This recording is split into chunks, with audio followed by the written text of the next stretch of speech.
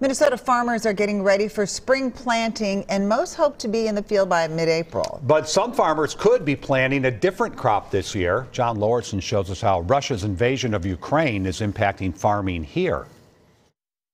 I think farmers tend to be what I call an eternal optimists. Coming off one of the worst droughts on record, a wet spring is exactly what Minnesota corn and soybean fields need, especially with commodity prices the highest they've been in years. They're booming.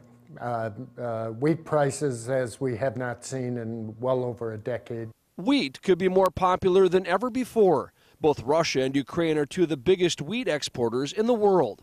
But if war keeps them from planting this spring, some farmers here may look to fill the void. There might be some uh, producers in northwestern part of the state who haven't secured their nitrogen and all their fertilizer needs to plant corn or, or other crops, and wheat might be a last a good last minute fill in in those acres. Ed Usset is a grain market economist with the University of Minnesota. He says the climate in Russia and Ukraine is similar to our state, which makes it conducive to wheat especially in the Northwest. It's also a cheaper crop to plant here, but farmers who do decide to go that route will also have to take into account the rising costs of things like fertilizer and fuel.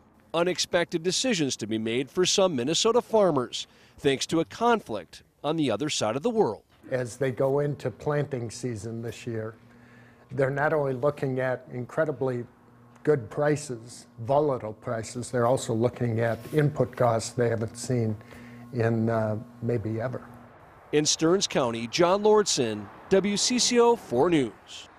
Usset says consumers should expect to see higher prices for bread and flour in the future based on what's happening between Russia and Ukraine.